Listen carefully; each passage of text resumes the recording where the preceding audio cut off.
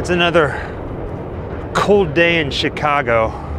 Got the train or the transit system running behind me, and right now I'm walking through an open field in Graceland Cemetery. There's a statue here known as the Statue of Eternal Silence that has a very haunting tale to it that has to deal with ghosts, legends, lore, and a Ouija board. You'll see what I mean. Have an idea where it's at. In fact, I can see it from right here, and that's where I'm heading. First stop in this historic cemetery known as Graceland Cemetery in Chicago, Illinois.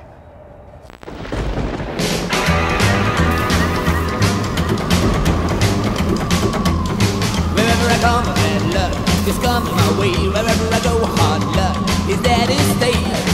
Good luck never stays a day. Always coming my way.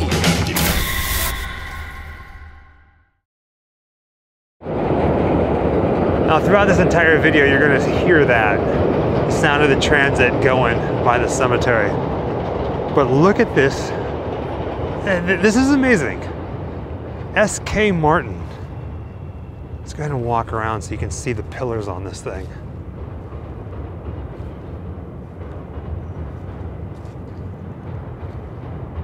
This is this is beyond glorious.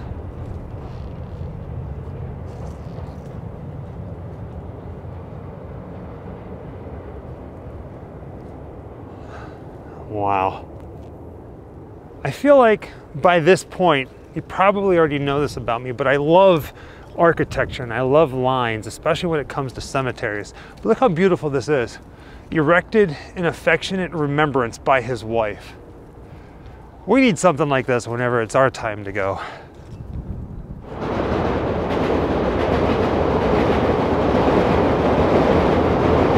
Crazy, right? Talk about waking the dead.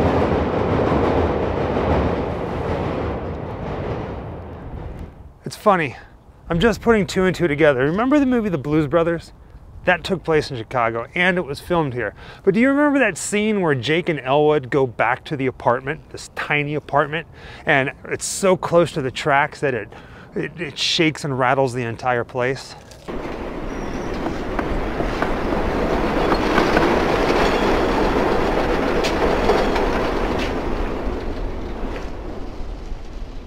Well, it ain't much, but it's home. How often does the train go by? So often you won't even notice it. it's real. I never thought it would be that, but it's it's real. The time that we've been here, I've seen that train or one of the trains, one of the many trains go by, I don't know, 15 times already. And there it is. The statue of eternal silence, the statue of death here in Chicago.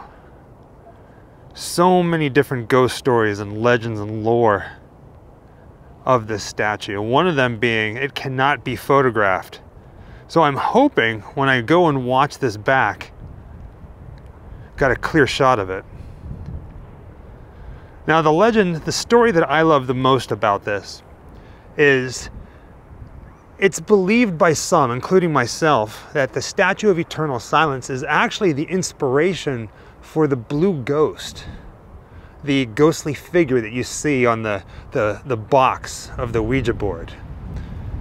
For the most part, it's the same. But the big difference is the position of the left hand. Here on the statue, it's underneath the cloak, but on the box for the Ouija board, it's raised. Now, I told you two stories about the Statue of Eternal Silence. The first one being rumored to be the inspiration for the blue ghost from the Ouija board, and the other one being that if you take a picture of it, it doesn't appear in the photos, or it shows up blurry like some sort of spirited image. But there are other stories. One of them being at different times, people have taken photos of this statue, and the left arm that's underneath the cloak moves at different heights throughout the day. But the one that freaks the most people out, the one that scares the most people, that pretty much made this infamous in the ghost stories of Chicago. It's believed that if you were to stand in front of the statue and look up into its eyes, you will see how you're going to die. And you know I got to do it. Now, one of the things that I love to do on our adventures is to tempt fate, to test out these ghost stories, these, these theories. Now, you can see how tall this thing is compared to Jessica, but you notice if I back up a little bit, you see where Jessica's standing right in front of her? That patch of grass that's been worn away? This is where people stand and look up into the eyes of the statue of eternal silence. Stare into its eyes. I did. I thought they moved. You thought they moved? Now, Jessica, I was telling the viewers that people who stand in that spot and look up into the statue, into its eyes, the, people see how they're going to die. It's one of the ghost stories here in Chicago. I got nothing. You got nothing? No.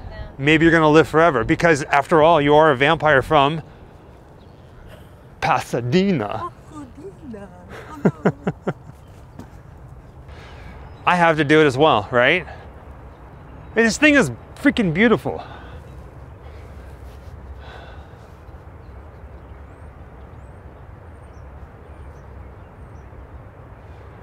Yeah, I got nothing. I wonder if you have to like do it at a certain time of day or possibly, I don't know, stand here for good four hours or something like that. Maybe at that point you'll start seeing things, but I still don't know how I'm going to die.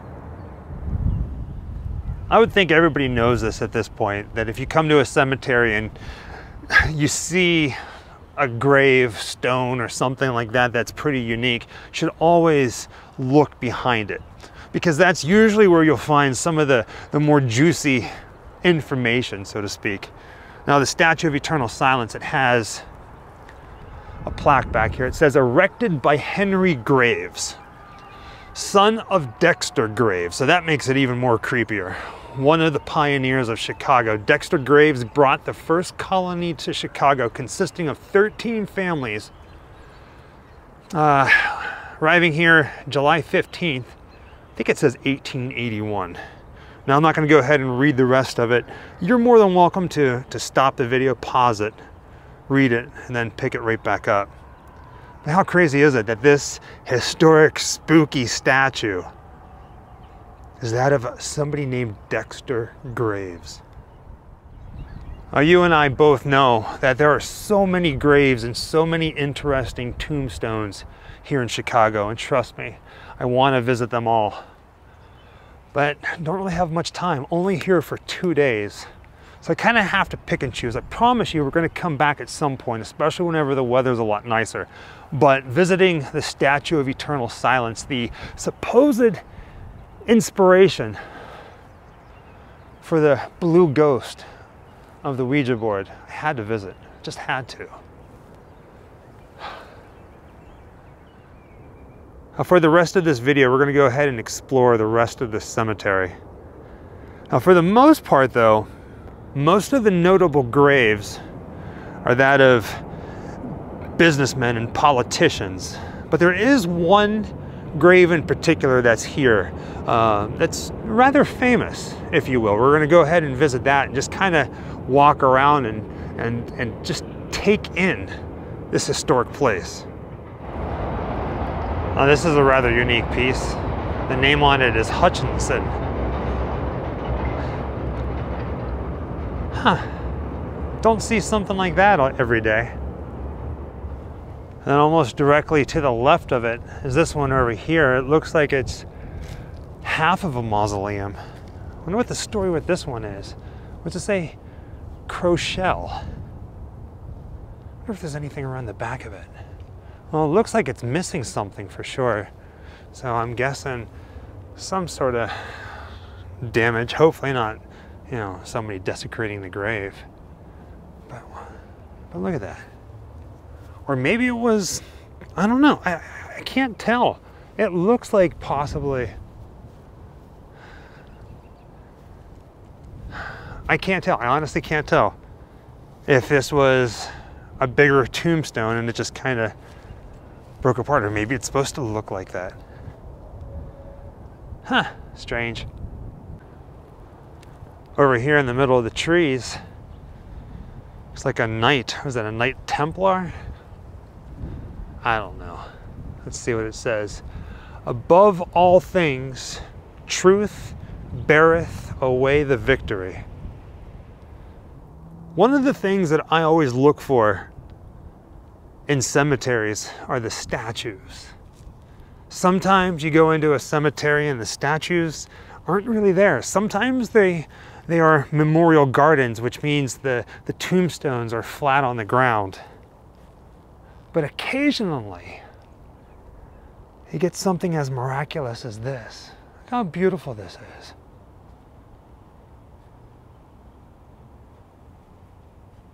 And this little guy over here too, right? Let's, go, let's look at him head on.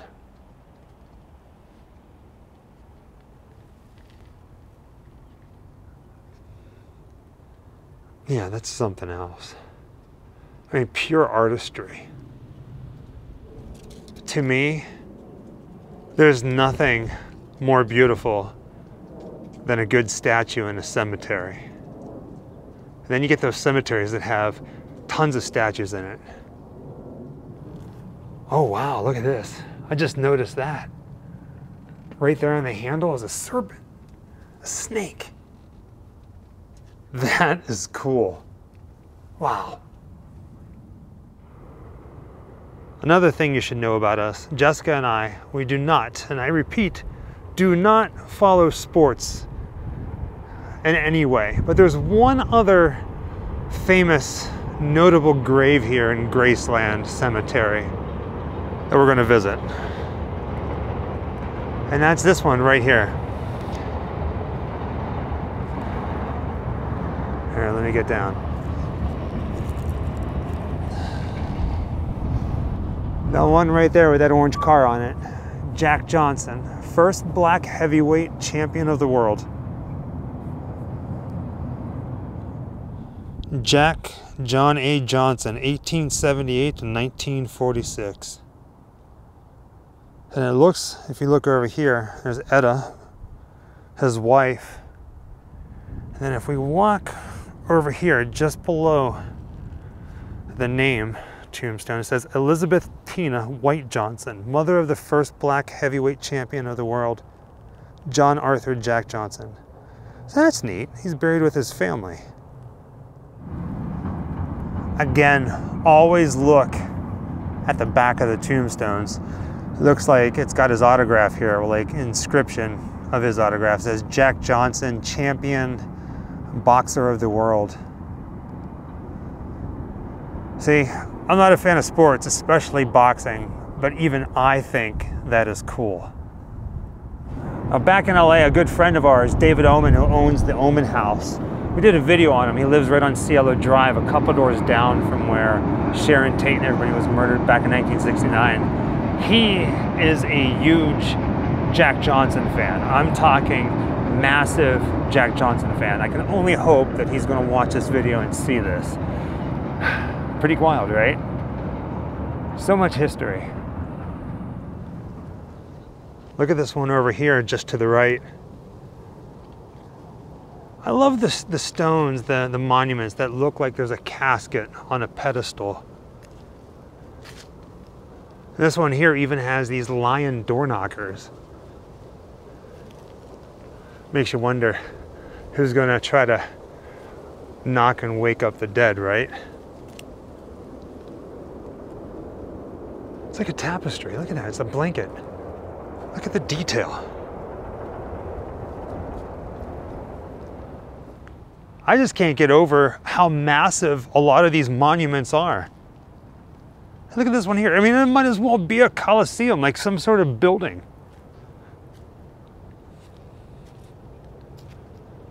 Now on the other side of this, there's a lake or a pond, however you want to call it.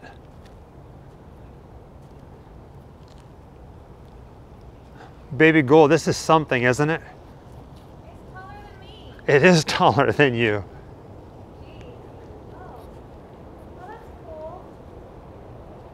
It's a family plot. Yeah? Peggy, Pauline, Potter, Potter the third, Gordon, Janice, Rose, one more Rose, John.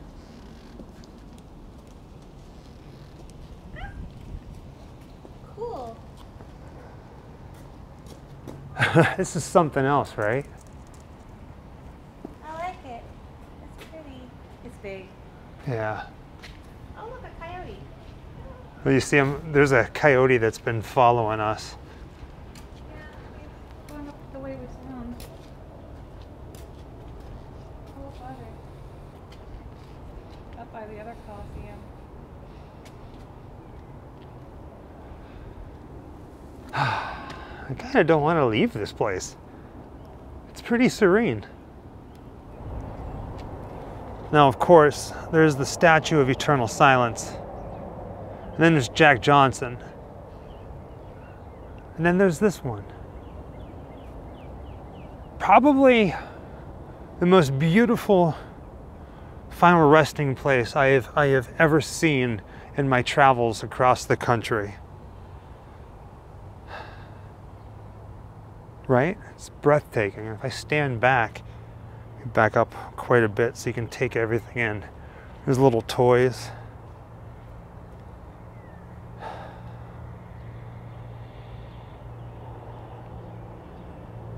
Beautiful. Next, we're going to visit the final resting place of Ludwig Wolff. It's with two F's. Now this one here is a little bit different. You walk up to it and down some steps.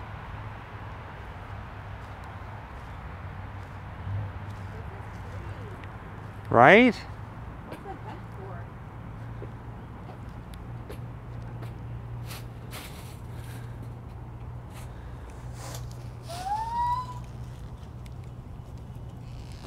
The All the leaves. leaves are very deep, and I want to jump into them. If I die by being attacked by possums, know I always love you. Ready? Do it.